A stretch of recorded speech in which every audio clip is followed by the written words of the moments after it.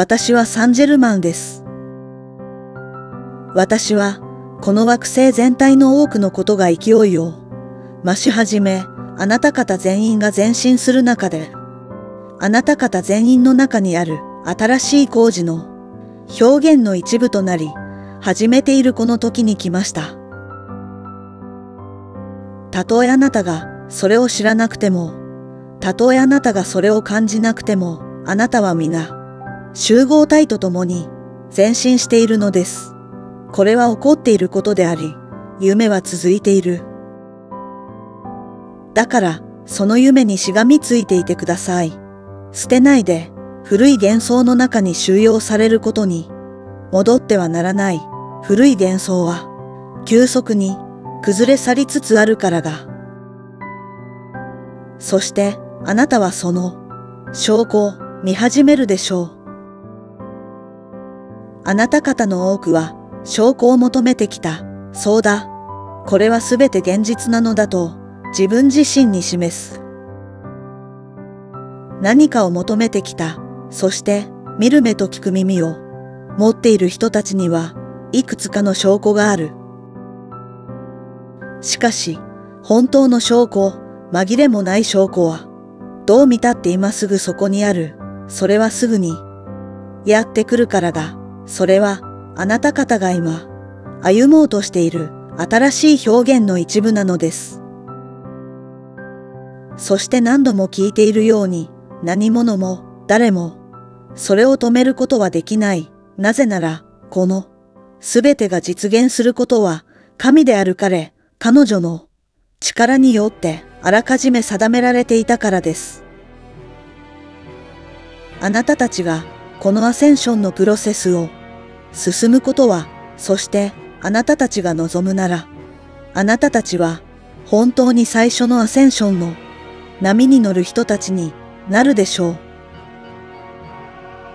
そして実際にあなたたちはそのために準備されているのです。もちろん、このグループの中だけでなく、地球上の多くのグループが集まっています。多くの人たちが再び夢を実現するために一つになって集まっています。自由になるという夢。あなた方がここに来たのは自由になるためです。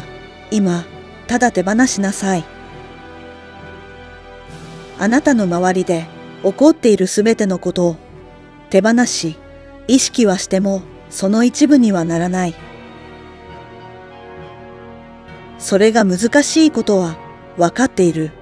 引き戻され、引き戻され、幻想の泥沼に引き戻される瞬間があるからが、引き戻されると同時に自分自身を引き戻し、再び引き上げることができる。なぜなら、あなたはもはやあなたではないからが。あなたはベールの表現を超えた。あなたはそれを超えたのです。そしてあなたがベールに押さえつけられるのを許さない限り、もはやベールはあなたを押さえつけません。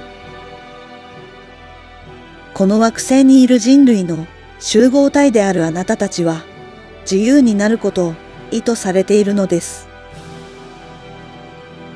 自分が一つの一部であり、一つは自分の一部であることを常に意識している限り、自分がどうすればいいか、どうしたいかを自由にすることができる。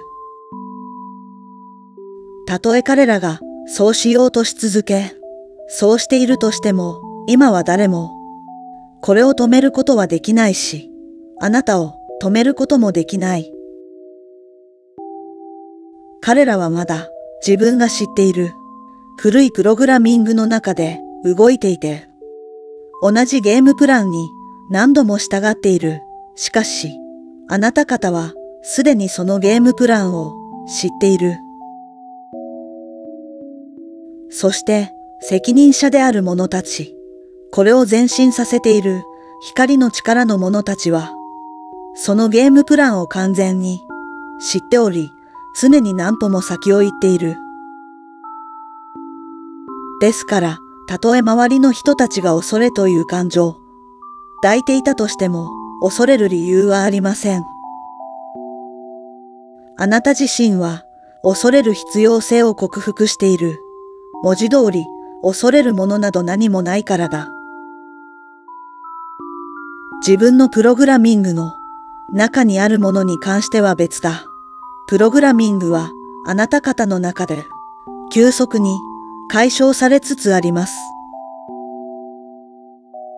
バイオレットフレームを使って古いプログラミングや古い記憶を浄化すればするほどあなた方はますます自由になります。私はサンジェルマンです。平和と愛と一体感の中であなた方の元を去ります。そしてあなたが夢を追い、続けることができますように。それがあなたを連れて行くところなら、どこへでも従ってください。しかし、それはあなたを上、そしてその先へと導いていることを知っていてください。